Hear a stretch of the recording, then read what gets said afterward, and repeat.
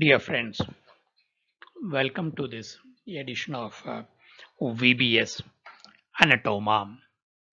This video contains graphic images and videos of medical, surgical, and anatomical nature.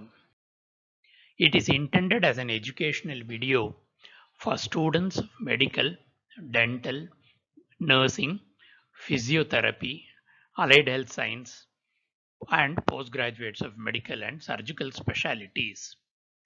Viewer discretion is advised for all other friends and uh, well wishers. This series is part 4 of a, uh, a series on lung. We are now covering the left lung in terms of bronchopulmonary segments. I am Dr. Balasubramaniam.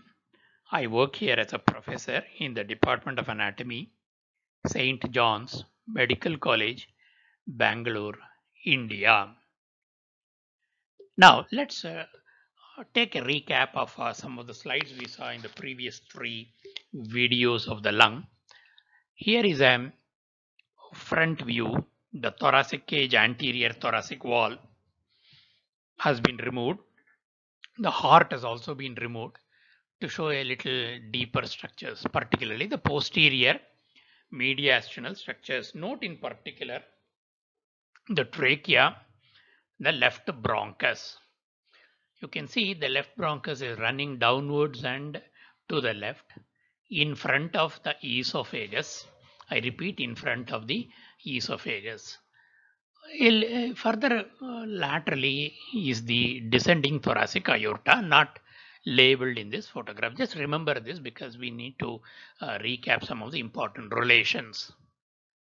Now, here is the costal surface of uh, both the lungs, right lung and left lung. You can see the oblique fissure in both the lungs beautifully. In addition, on the right side only, the horizontal fissure is also visible. Now we need to map the tracheobronchial tree into this um, into the parenchyma of the lung. That's the objective. Now you see, actually this is how it is when you look at the interior of the lung. There is a tracheobronchial tree. However, it's just not the tracheobronchial tree, it is much more than that. What we think is a bronchovascular tree. That means just not the trachea and the bronchial tree, but it is bronchovascular tree. That means there is the bronchial tree as seen in the previous uh, photograph, but there is also a, a branching pattern of the pulmonary artery.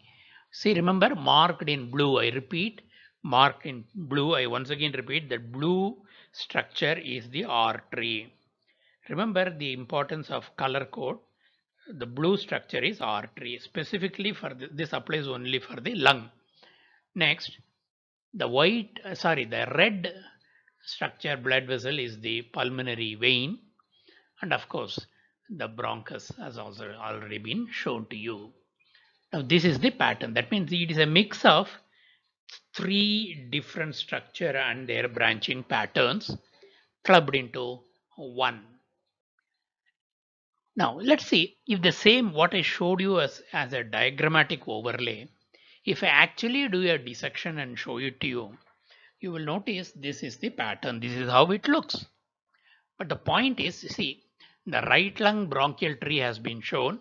On the left, I have shown the bronchovascular tree. Now, the, the two terminologies must be re-emphasized. By the word bronchial tree, I mean I have removed all the vessels and all that. Only the bronchial tree is seen. This has been done, say, in the right lung. But on the left lung, in addition to the bronchial tree, I have made sure that the pulmonary artery and the pulmonary vein and their branches are also retained. Let's see now. Now the bronchial tree in both right lung and left lung is preserved. On the left, the pulmonary artery and its branches are retained. Similarly, the pulmonary vein and its tributaries are retained. I have missed it or removed it in the right side just to bring out the contrast. If you notice one important thing, the pattern of distribution resembles, I mean, is more or less similar in both the lungs. Yet, yet I repeat, in terms of its location, size, orientation, there are subtle differences. Therefore, from this point onwards, it will be better to look at the branching pattern, that is the pulmonary uh, tree or the bronchial tree, uh, into separately for the right lung and for the left lung. The anchor will be the um, pulmonary, so the bronchial tree that will be the and supplemented by the vascular tree. Now we will shift first to the right lung, sorry, the left lung. In another video, separately, we will do it for the right lung in view of these subtle yet important uh, differences from an anatomical perspective.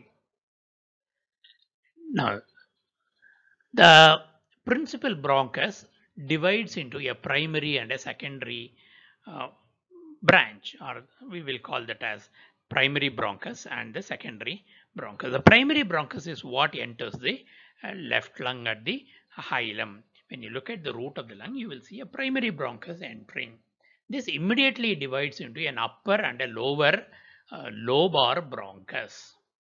I repeat, upper and lower lobar bronchus. Now, this is the primary bronchus. The cut edge of the uh, two is shown.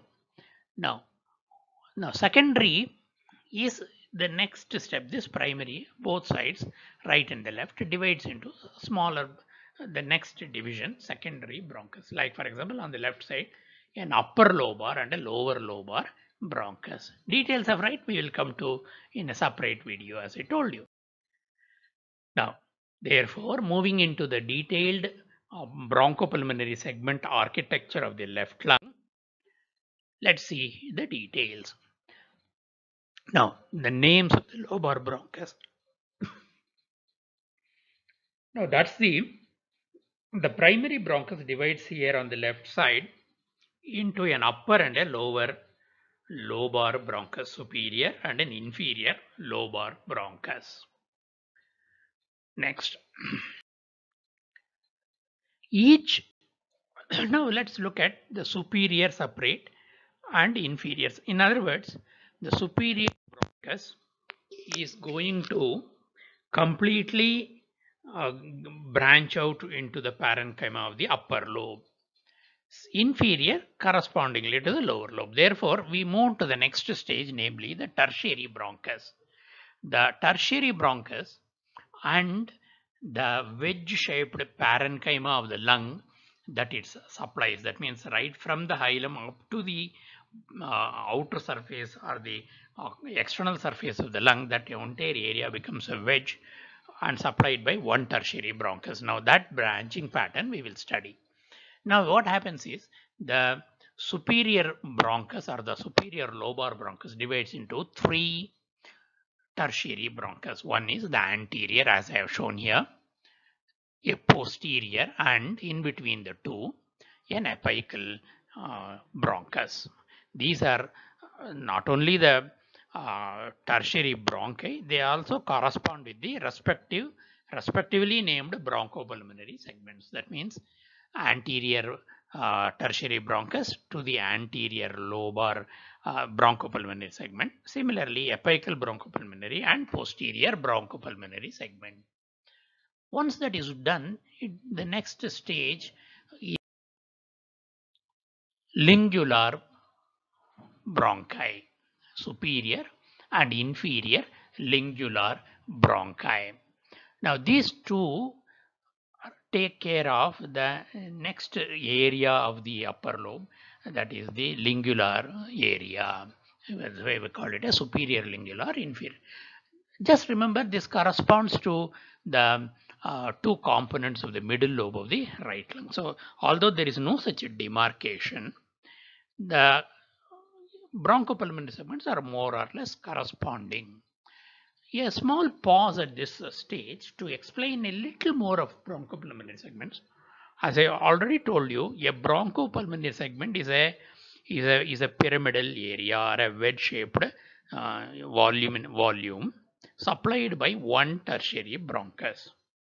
In addition, it is also supplied by the corresponding pulmonary artery and its branches. This analogy ends here.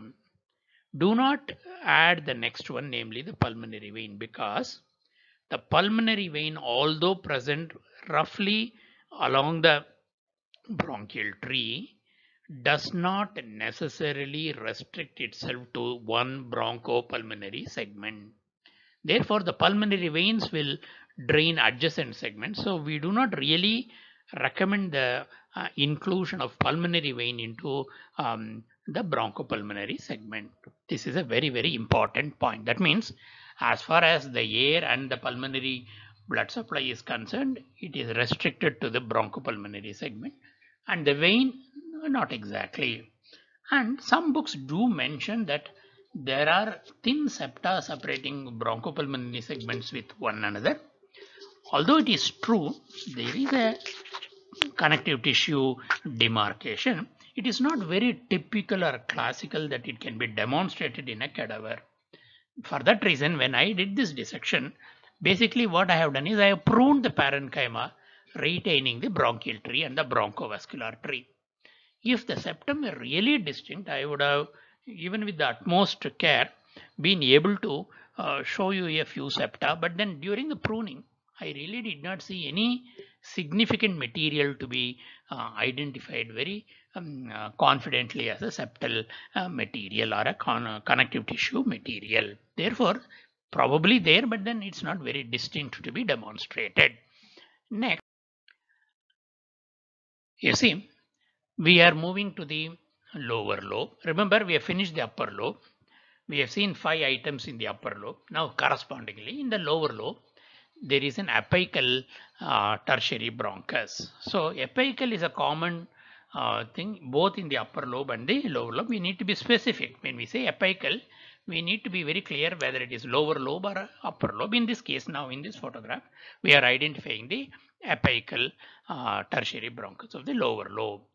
Then the branching continues after giving the apical branch, the, the lower uh, lobar bronchus continues to divide into a medial basal, an anterior basal, a posterior basal and and not very typically shown in this but nevertheless marked is the lateral basal.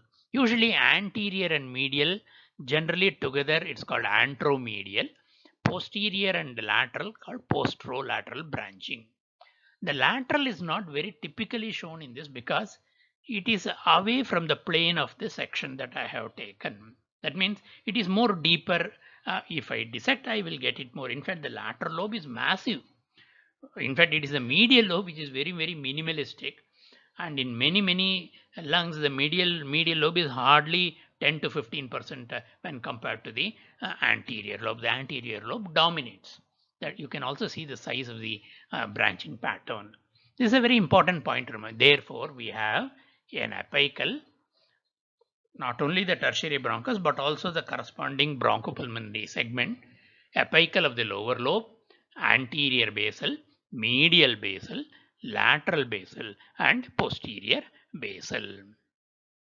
Next, this is a classic textbook uh, diagram or a photograph where the bronchopulmonary segments are outlined and then labeled. We will follow the same uh, exercise here also. Uh, this is the medial surface of the lung, the same previous photograph. I have just uh, overlay the color uh, to bring out a contrast.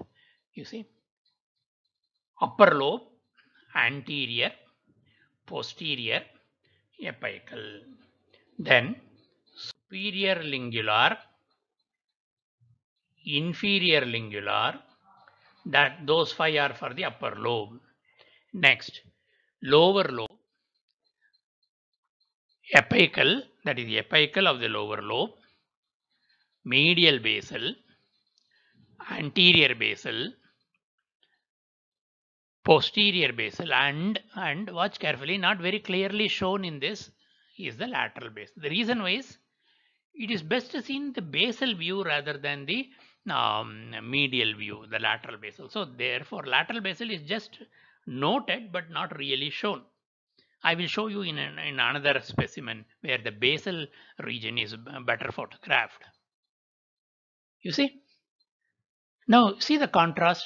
This is the bronchopulmonary tree, rather the bronchovascular tree, and these are the um, bronchopulmonary, uh, the, the corresponding tertiary bronchi.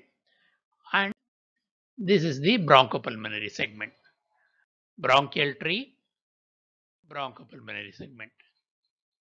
Again bronchial tree, bronchopulmonary segment. So basically that was a, uh, a contrasting discussion between the bronchial tree and the bronchopulmonary segment. Next, we will go to the next stage of the dissection, namely uh, a wedge dissection of the broncho. This is very important because our understanding is incomplete if we do not look at the bronchopulmonary segments as wedge pieces of lung tissue. The apex is towards the hilum of the lung or the root of the lung and the base is towards the surface either it may be the costal surface or it may be the medial surface this is most that's why i have shown uh, in a uh, jovial contrast uh, watermelon uh, wedge uh, sections now you see what i have done is using the atlas as a guide i have tried to demarcate the bronchopulmonary segments with with with a highly um, uh, confident uh, uh, levels of accuracy because I have done many times and I have a reasonable level of um, confidence. Note in particular the dashed lines are actually the oblique, oblique fissure is the oblique fissure. The area upper lobe and the lower lobe are shown in two different contrasting um, areas. Now you see, we will now identify the bronchopulmonary segment, so the upper lobe. We will go a little fast because we already have seen it in the previous photographs. You see, apical, posterior. See, the difference between this and the previous dissection is, here I have not only made wedge-shaped uh, cuts into the uh, in between the bronchopulmonary segments. I have extended the cut from the surface up to the root of the lung except that it is all attached at the root so that you can move it away a little bit. So what I have done is I have spread the bronchopulmonary segments out like a flower, petals of a flower and then giving you the labels. Obviously the next one will be the anterior. These are the three and I have called it together superior and inferior lingular. I have shown you these individual separate bronchopulmonary in the previous one. I will show you the same in a better view in the costal surface. Next. Now, we will go to the lower lobe. Apical, again apical. See this, how big it is. Posterior, posterior is also very big. Uh, medial, anterior. Remember medial and anterior. Very very important. Remember both the medial and anterior are below the oblique fissure. There will be some confusion. I will explain in the next slide. So lateral once again in this view it may not be very typical but i will still show you the lateral. Now this is the uh, view i have been waiting for although the photograph largely covers the medial surface it is particularly focused on the basal area so that the lateral uh, bronchopulmonary uh, segment is best seen. You can see medial, anterior, lateral and posterior. There's something unusual here. Remember the photograph slightly uh, photographing the basal aspect so that the uh, lobes seen in the base are seen. Therefore, realigning ourselves and re-understanding the position of the oblique fissure, note it appears as if the medial and the anterior bronchopulmonary segments are above it and therefore can be falsely identified as belonging to uh, some other lobe. No. The point I want you to understand is the oblique fissure, the position is perfectly fine because it cuts down into the inferior border. And what you actually see here as the medial and the anterior broncho are actually in front. You see, this is a plane, I mean, this is a flat X uh, and Y coordinate photograph. Therefore, because of lack of depth, it appears as if the medial and anterior are above the superior, uh, above the oblique fissure. In reality, both are in front of the oblique fissure and we are viewing it from the medial side and the basal side. So this, this is a, something you have to keep in mind uh, to understand this specimen. Next, see lateral, I just again re-emphasize that is the lateral lobe. Next, we are uh, coming to the last part of the discussion, but nevertheless equally important. Let's review these bronchopulmonary segments to the extent possible on the costal surface. Left lobe, costal surface, identifiable bronchopulmonary segments are in the upper lobe, apical, posterior, anterior. Also, now clearly seen separately as superior lingular and inferior lingular. Remember, in all the previous ones, I really didn't show you clearly separated superior and lingular, but here it is visible superior and inferior lingular. That's the reason why unless you examine the bronchopulmonary segments in across all the surfaces and views, it's very difficult to get a complete 3D orientation. Next, we'll go into the lower lobe. Same apical of the lower lobe, posterior, anterior, lateral. Simple understanding logic tells you that I cannot show you the medial because it is on the opposite side. Next, as I told you repeatedly time and again, our understanding of any anatomical detail is incomplete unless otherwise we understand its correlation in imaging modalities. Here is a 3D reconstruction, CT reconstruction. You can see the heart marked in red, digital coloring has been given, and the tracheobronchial uh, tree uh, is outlined. Remember, this is a, something fantastic available from the radiology department where you can selectively highlight the structures of your choice. You can even color code it and bring out the contrast. Probably this helps in better understanding of the lesions uh, in this region. Now you see, this is a 3D rendering again, uh, thorax. What, what has been done is roughly up to the level of the uh, root of the lung, the um, computer has been asked to remove I repeat, to remove the pulmonary vessels and the uh, tracheobronchial tree so that that much of uh, uh, noise or overlap of the uh, images is uh, re reduced and it brings out the structures behind the root of the lung in better clarity. Nevertheless, you do get a beautiful uh, spread of the tracheobronchial tree of both sides. Next, the same photograph color coded so that the pulmonary artery is marked in blue. I repeat, it is in blue, although it is an artery, and the pulmonary vein is marked in red.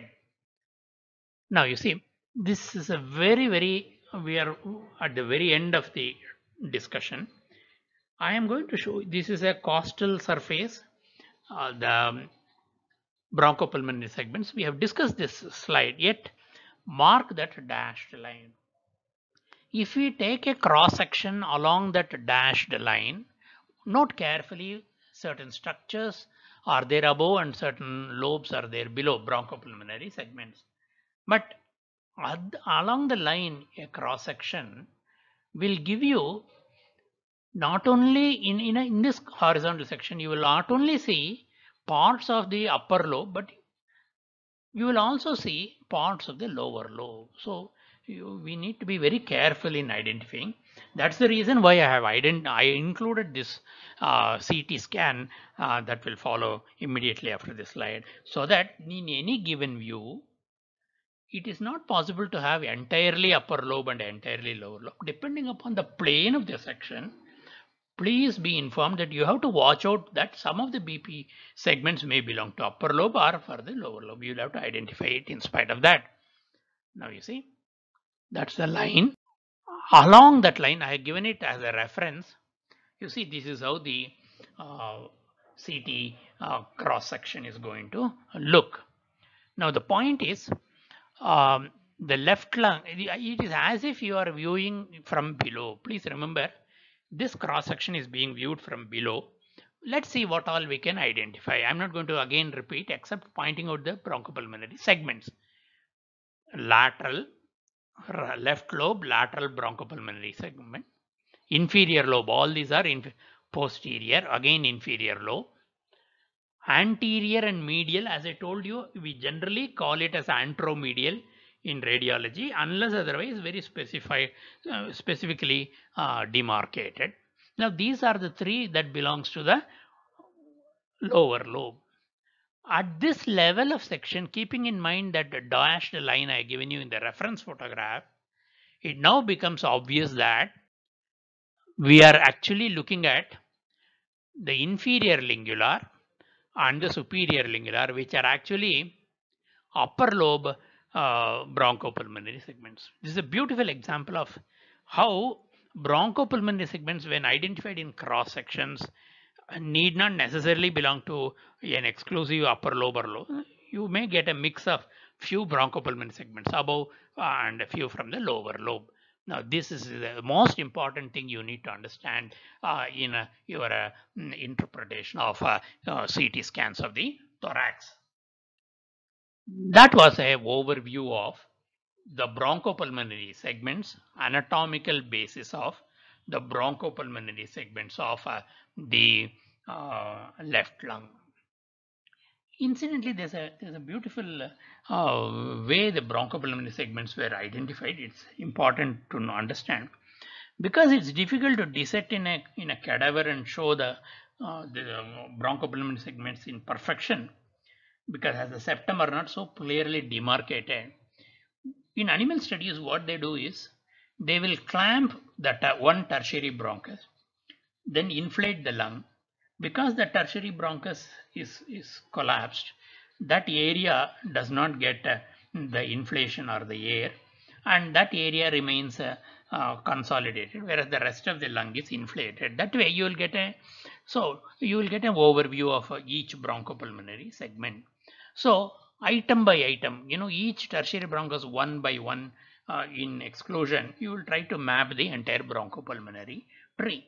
It's also possible to do it in the living uh, experimental animal studies where when you when you actually block the tertiary bronchus because of uh, lack of oxygenation that area uh, the the color reflecting the vascularity and the oxygenation will change in contrast will change in contrast. So this is one, one technique which is used for uh, delineating the bronchopulmonary segments. Uh, I hope this benefited you and uh, wish you all the best. Thank you.